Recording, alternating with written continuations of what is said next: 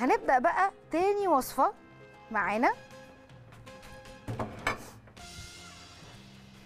إحنا اللي باقية معانا حاجة بسيطة جدا اللي هي بهارات الكاري الهندي. فنبقى خدنا البهارات الهندية مع بعض في أول الحلقة. بهارات الكاري الهندي دي كمان مفيدة جدا ومهمة جدا وهنقول لكم استخداماتها في حاجات كتير قوي. كتيرة كتيرة يعني من وصفات الفراخ والتتبيلات والحاجات. عايزين نعرف آه، الوصفات اللي بتدخل فيها آه، بهارات الكاري الهندي. جميلة جدا. بصوا بقى هنبدأ كده نقول إيه؟ بسم الله. هنا عندي للبهارات الك- الكاري الهندية. هيزيد عليهم واحد هت... هقول لكم هتجيبوه منين.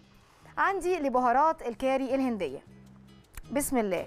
معلقتين من الكمون المطحون. عايزين تجيبوه حصى أو حب وتدور التشويحة اللي أنا اديتها على النار من غير أي إضافة مادة دهنية بنحمصه ماشي معلقتين كزبرة مطحونة. معلقتين كركم مطحون. معلقتين آه، نص معلقة من الشطة نص معلقة من الزنجبيل المطحون نص معلقة من الفلفل الأسود المطحون ونص معلقة من الملح. ده آه وطبعا الكاري. أنتوا ناسين الكاري يا ولاد. طيب بصوا بقى. طيب بصوا بقى الت... التوابل دي هتدينا في الآخر مضمون ال... الكاري يعني مضمون ال... ال... ال... الصوص أو البودرة بتاعت الكاري. تعالوا كده ناخد مع بعض. أدي الفلفل. أنا ممكن بقى أخدهم كده هنا عشان أديهم آه، طحنة. نعمل كمية حلوة. وأدي الملح. الكمون. كزبرة.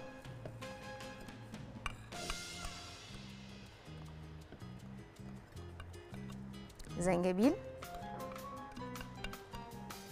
شطة الكركم. عارفين الكركم ما يتحفز مادة الكركمين فيه إلا لما يكون فيه مادة حارة زي الفلفل أو الشطة.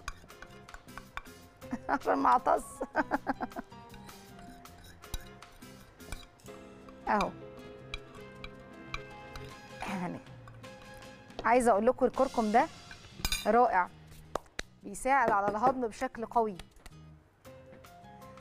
آه، بصوا بصوا كده. ناخد تدويرة دي وبعدين نكمل تاني. بسم الله. لا ثانية واحدة.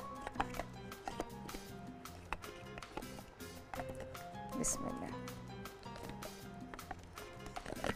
يلا. لا الحمد لله يعني بردت بردت الحمد لله. بسم الله الرحمن الرحيم. نخلط بس خليط الحلو ده.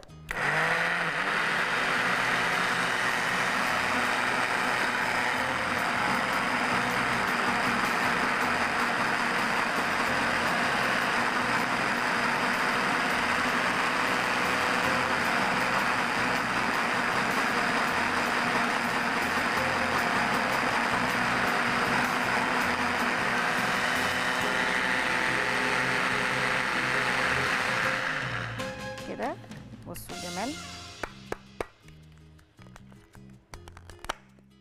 بسم الله الرحمن الرحيم.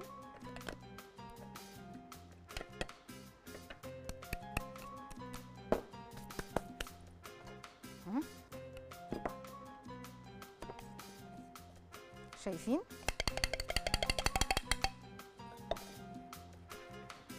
إحنا كده عملنا الكاري بقى. الكاري home made مسحوق الكاري يا جماعة. تعالوا بقى نحط الورقة الجميلة. عاملاها لنا نودي. ادي بهارات الكاري. الهندي. هنحط بقى الهندي مع بعض. كده؟ علشان أصدقائنا اللي بيحبوا التوابل الهندية. دلوقتي بقى قبل ما أبدأ في المصري هستسمح حضراتكم هنطلع بريك ونرجع بعد الاستراحة نستكمل مع بعض باقي وصفاتنا من التوابل. حلقة مميزة عشان أصدقائنا اللي بيشوفونا من خلال شاشة قناة الأهلي بعد الاستراحة في انتظار حضراتكم.